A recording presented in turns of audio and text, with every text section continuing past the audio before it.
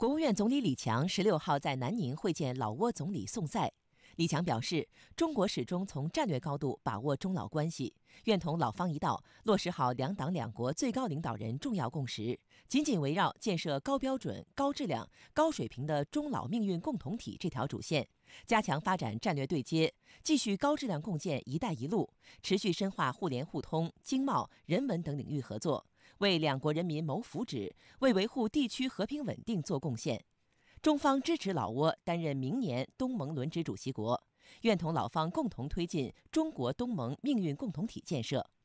宋赛表示，老方恪守一个中国原则，坚定支持中方维护自身核心利益，